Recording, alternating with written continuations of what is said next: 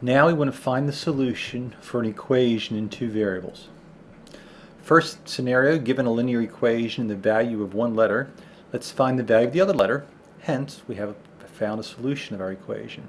This can be done by straight substitution and then solving. Second, given an ordered pair, verify whether or not it is a solution for our equation. Again, substituting both values in must result in a true equation after we simplify it. Next, finding a solution with only the equation given. And here we have liberty, we can select any value of x or y that's convenient and then solve for the other one. Finally, we want to look at an application for equation solutions. Let's begin with the example given 3x plus 4y equals 12 and we know that y equals negative 2. Find the value of x. So we take the original equation, 3x plus 4. We replace y with negative 2, being careful to select the right letter. And now we need to solve this equation. So we have 3x minus 8 equals 12. Let's add 8 to both sides of the equation. So we have 3x equals 20. Notice the 8's cancel out. We divide both sides by 3. So x equals 20 thirds. So the ordered pair that we now have is 20 thirds for x and negative 2 for y. So x is negative 20 thirds and here's our ordered pair solution. Ordered pair because it's two numbers and x always comes first and y comes second. Now suppose we're given equation 2x plus 5y equals 20 and we want to verify does negative 5, 6 satisfy the equation? Is it a solution? And negative 15, negative 2. Notice that negative 5 is the x value and 6 is the y value. So we take 2, replace x with negative 5, plus 5 times y, which is 6.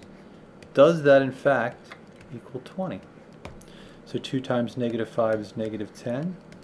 5 times 6 is 30. Negative 10 plus 30 is 20.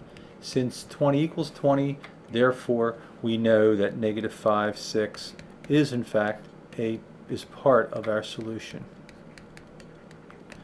Let's try negative 15, negative 2.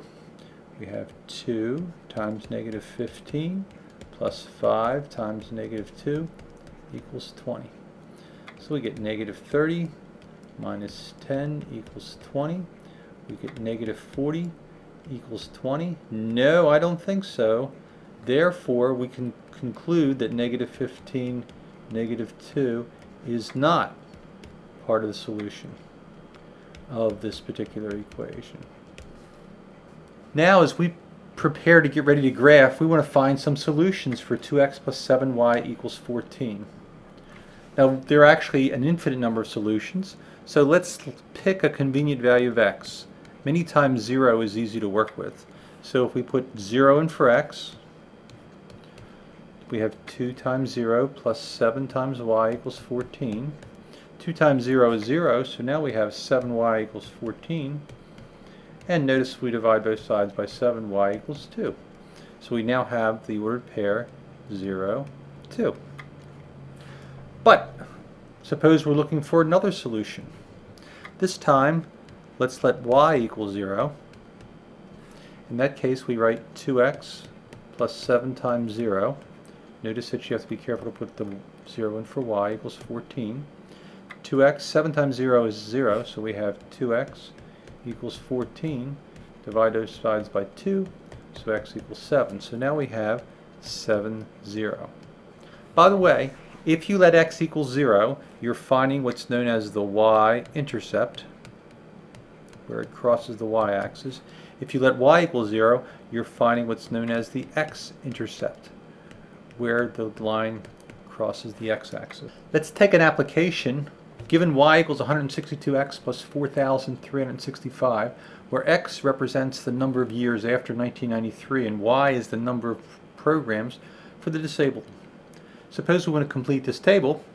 Notice we have x is 1, x is 2, x is 6. We could have other values as well. Well, each one we do separately. y equals 162. We replace the x value with 1 plus 4,365. So 1 times this is 162. So we're taking 4365 plus 162. So we have 4,527. Although we could continue using this method, the most efficient method is to get a calculator, especially a graphing calculator. So if we do that, we put a 2 in, we wind up with 4,689. If we put 6 in, we wind up with 5,337. It's a really important skill to be able to replace x's into an equation and find the values of y.